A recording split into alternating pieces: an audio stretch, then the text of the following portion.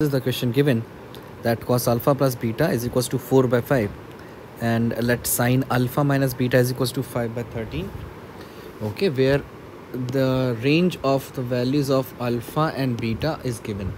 So first thing we can find is that because we are dealing with alpha plus beta and alpha minus beta so we'll find the range of alpha plus beta and range of alpha minus beta. So the range of alpha plus beta because alpha and beta both maximum value is pi by 4 so the maximum value of alpha plus beta could be pi by 2 and because both minimum value of both is 0 so we can take this.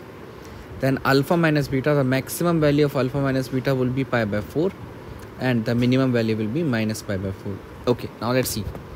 So we have cos of alpha plus beta is equals to 4 by 5 now as alpha plus beta is from 0 to pi by 2 cos alpha plus beta is 4 by 5 so I can find a, I can form a triangle so which is alpha plus beta.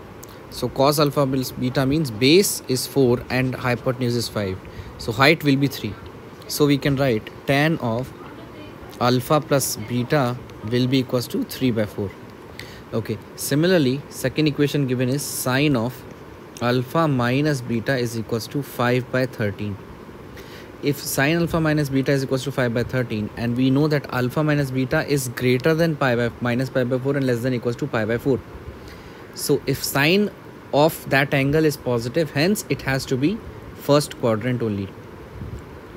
First quadrant only. So that means sine of alpha minus beta is 5 by 13 again i can form a triangle.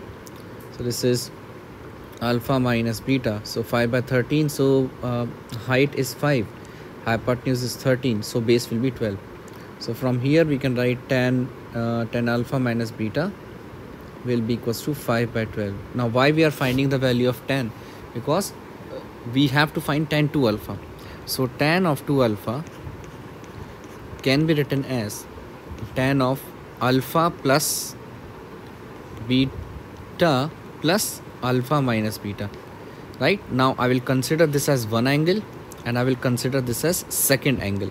And then I will expand. So this is tan of alpha plus beta plus tan of alpha minus beta divided by 1 minus tan of alpha plus beta into tan of alpha minus beta.